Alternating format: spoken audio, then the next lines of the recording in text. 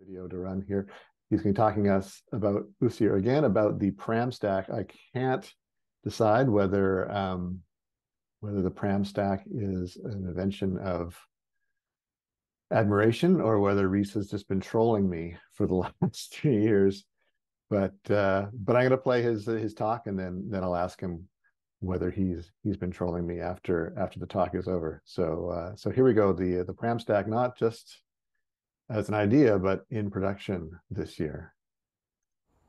Welcome, Habari and Wagwan. This is the Pram stack in production, or episode three of Pram stack on Postgres Day, using it in production. Before I dive into the potentially episodic nature, allow me to introduce myself. I'm Rhys, founder and the CEO of Auchindown. We are a small company based in Kingston, Jamaica. We delve in all things spatial, and we primarily have clients that are in the electric utility and power distribution sector. And of course, we are all in on PostgreSQL and PostGIS. I can be found on the interwebs as Rhys Alister. I'm on GitHub, I'm on Twitter, or what was recently called Twitter, and I'm also on LinkedIn. Do feel free to contact me if you ever wanted to shoot the breeze about PostgreSQL, PostGIS, the plethora of PostgreSQL extensions, and just how fantastic PostgreSQL is. Alrighty, now that you know who I am, let us deal with the potentially episodic nature of slide number two. At the 2021 incarnation of Postgres Day, I gave a presentation called Hurricane Prediction Accuracy Analysis using the Pram stack. This would be episode number one. Last year, in 2022, Brian Timoney presented Skating to Where the Puck is Going to Be why SQL is the future of full stack analytics. And even though it didn't contain the term Pram stack, if you had watched that awesome presentation, it's not too far fetched to see it as the spiritual successor to the presentation given in 2021. Therefore, this would be episode number two. And of course, the current presentation, the one you're watching right now, is episode number three. Who knows what next year will bring? Potentially a fourth episode. So, a brief agenda um, is in order. We will first revisit what the Pram stack is, talk a bit about what production means, and then jump into Livewire. What is it, and why is it different from 99% of all other web applications out there? So, the Pram stack. Before we get into what the Pram stack is, let us refresh ourselves as to what a software stack is. A software stack is a collection of software components that work together to support the execution of an application. Popular examples include the LAMP stack, which would be Linux, Apache, MySQL, and Perl or Python or PHP the mean stack, which would be like Mongo, Express, Angular, and Node, the MERN stack, Mongo, Express, React, and Node, the Jam stack, it's just JavaScript, APIs, and markup. Um, so those are examples of very popular stacks. Uh, the Pram stack is PostGIS, OGR FDW, HTTP, and gzip, and these are all PostgreSQL extensions primarily written by the same person. Once again, I will leave it to the intrepid audience member to figure out what Pram is referring to. Having re-established what the Pram stack is, let's talk about using it in production. And what do I mean by production? In episode 1, the entire premise was slightly tongue in cheek, even though the analysis that was undertaken was spot on. Similarly, Brian's presentation, while a tour de force of post functions, especially from the raster side of things, wasn't set up to be particularly production ready. So this episode, we will be speaking about using it in production. And by production, I mean an actual web app that has paying clients. So I'll consider an application production ready when it's satisfies several criteria. These include functionality, reliability, scalability, security, maintainability, and observability. And having satisfied all of these, it is, we like to think that it is also performant. So, livewire.io, what is it? Well, it is a software as a service for electric utilities to model their distribution networks. It's a web app where distribution engineers can upload a network model, or potentially, if they are in an enterprise plan, they can fork or clone the existing instance that is connected to their legacy database, or if they're using PostgreSQL, even better, they can operate devices, do upstream and downstream traces on one or more phases, and calculate metrics such as SAIFI and SAIDI. And this is all built on top of the Pram stack. Before I dive into Livewire, let's look at how a typical web app is architected. Generally, we split it into three layers the presentation layer, the application layer, and the data layer. You'd consider the uh, application data layer, the application and the data layers to be the back end, and the presentation layer will be the front end. Generally speaking, the application is speaking to the database through an ORM. Normally, or usually, the application is a framework of some sort. Could be a micro framework like Python's Flask or Bottle or something more heavyweight like Django, Laravel, or Zope. Now, while this is a very simplified scenario, the reality is that it looks more like this. And the data layer is usually underappreciated and underutilized. And you'll find people doing things like pulling out lots of rows of data to do an average in the application.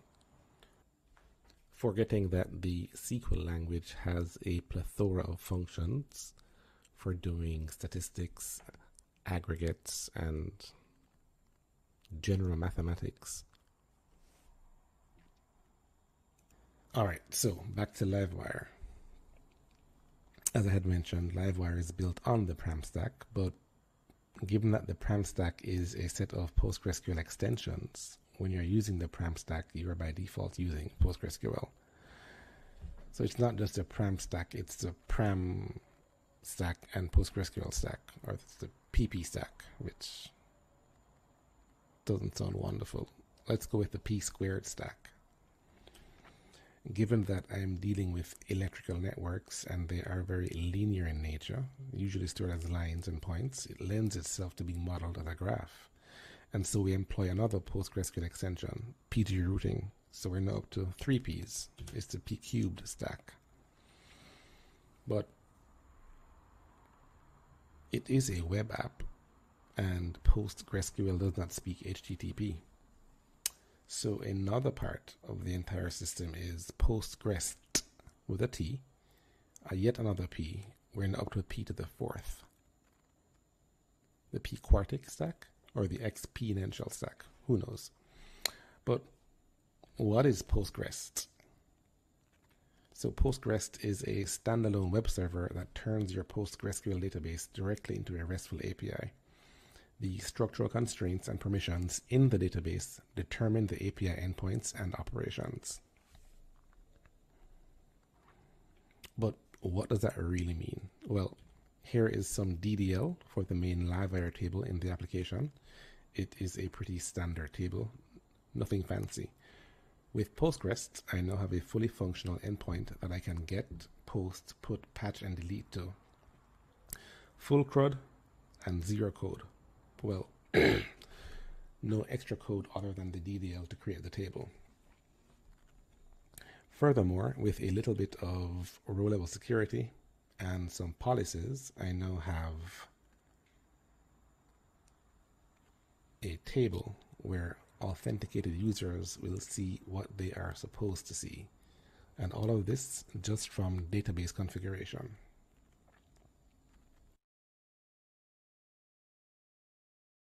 While PostgREST makes RESTful endpoints from tables, I do need to write some logic, and that is done using PLPG-SQL.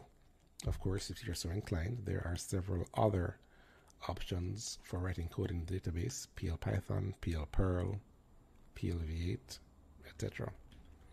So let's take a look at the entirety of Livewire. So again, PostgreSQL is the database.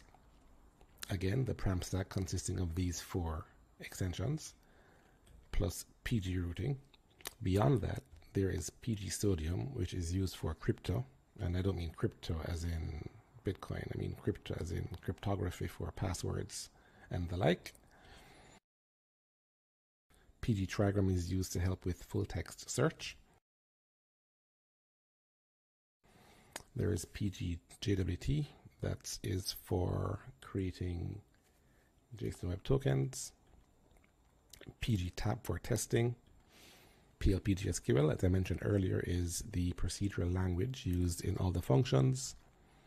pgcron, which is a scheduler in the database, I admittedly abuse and I use it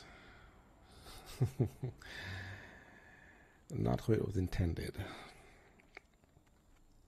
And finally, Livewire, which is a extension that I created, and this is where all the logic that does the modeling of the electrical network lives.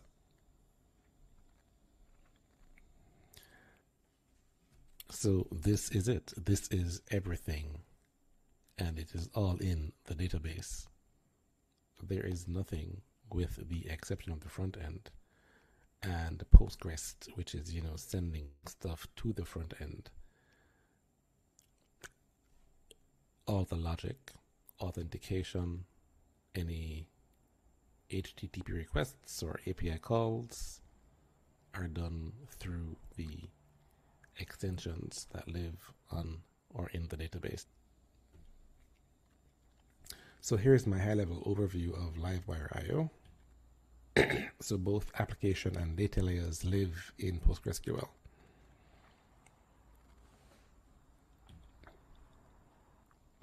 How do I handle database changes and uh, versions, migrations?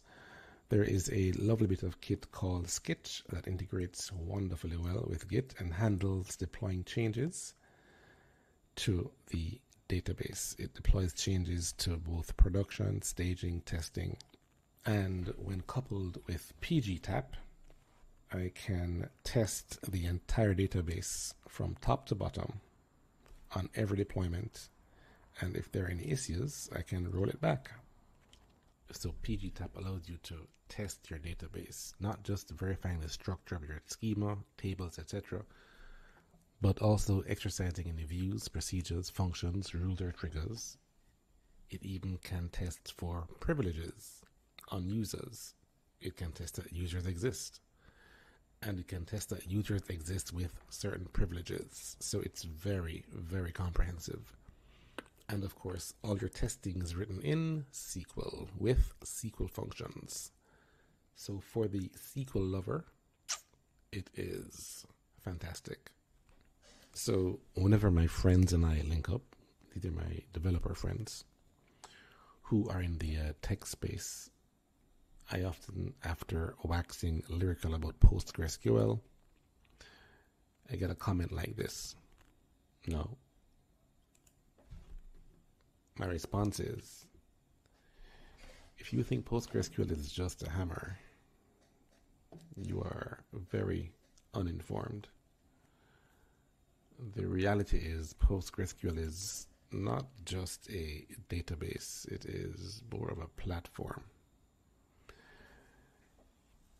Given that it was built from the outset to be extensible, and the extensibility is pretty trivial,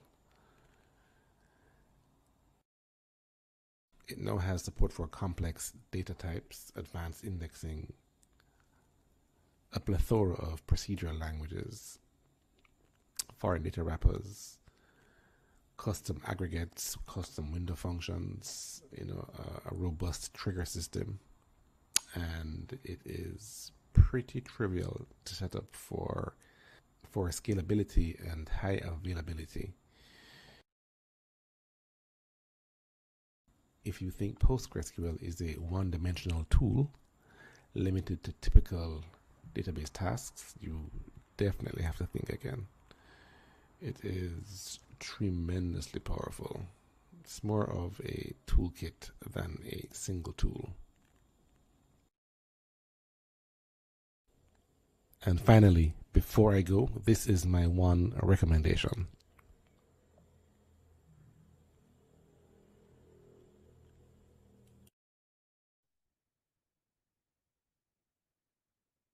And a fine recommendation it is. Uh, thank you, Rhys. Are you there on the other end of this line? You're muted right now.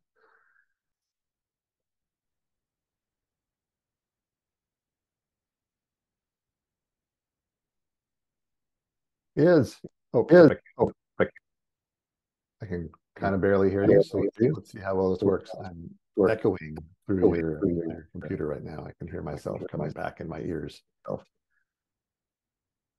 And I cannot hear yourself. I cannot hear yourself.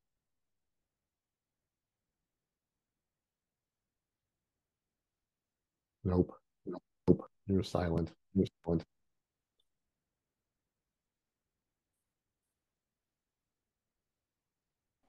Can you hear me now? Oh, uh, I can hear you, but okay. There we go. Okay, yes. Okay, yay. Okay, we can hear you. So I want to start off with a question which has, of course, been bugging me for a year, which is, are you trolling me, Rhys? Um, it's it's thirty percent trolling, seventy percent admiration. You know? okay. Yeah, that seems like a fair balance. That's that's that's, that's a reasonable balance.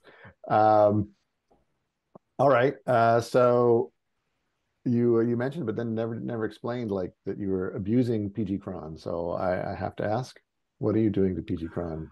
Oh, so I couldn't find uh, a simple extension in PostgreSQL to do um, one-off tasks.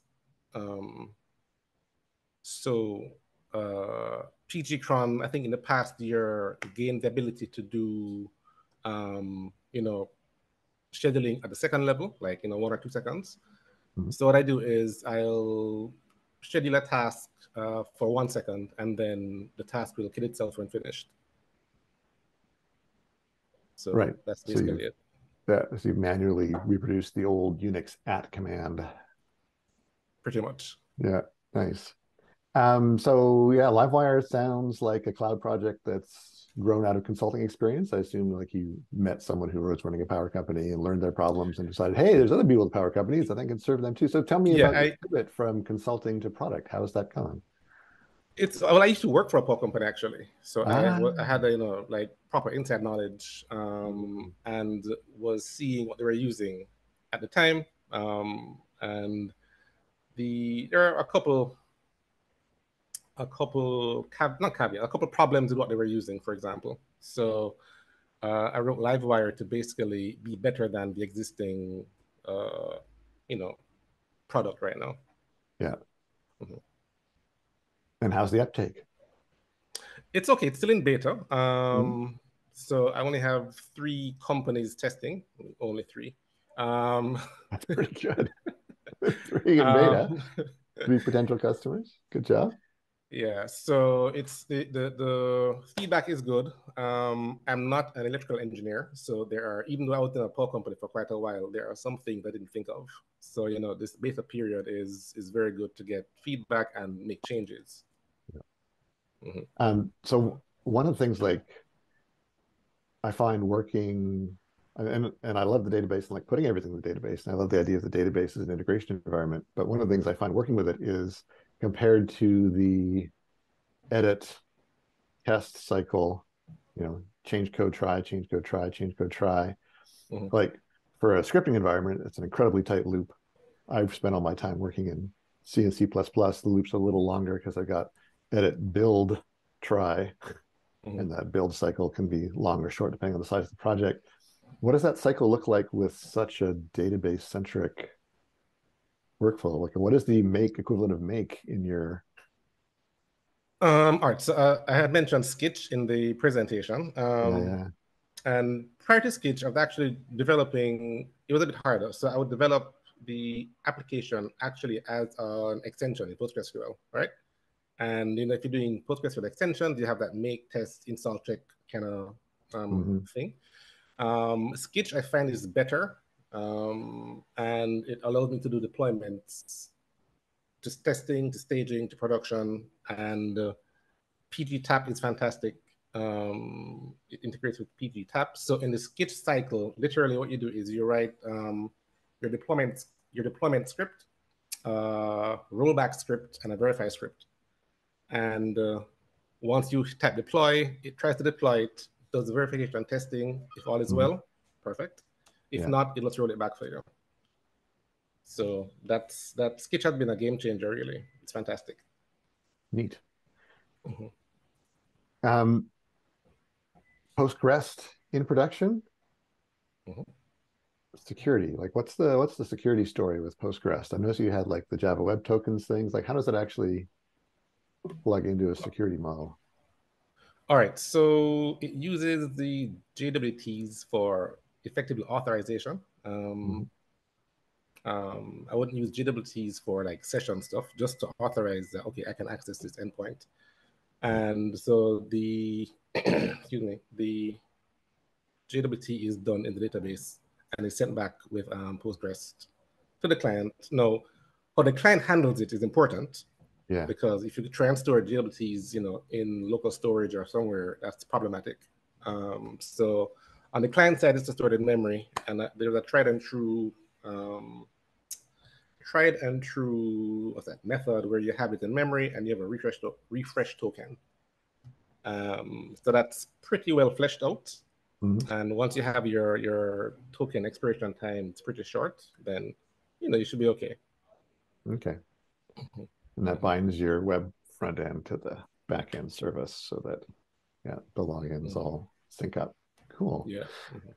see do you have any questions on the chat no brian says that he's going to be adding yet another chapter the pram stack in the classic brian way i can't wait um yeah that's uh that's that's it for me thank you very much once uh, for once again coming and uh taunting me in your low key manner. Not a I've problem. Enjoyed, I've enjoyed it, and I look forward to uh, to hearing how Livewire goes over the next year, and then also what uh, what you come up with next. Pretty awesome. All right, thank you very much. Thank you, Rhys. Take mm-hmm. care.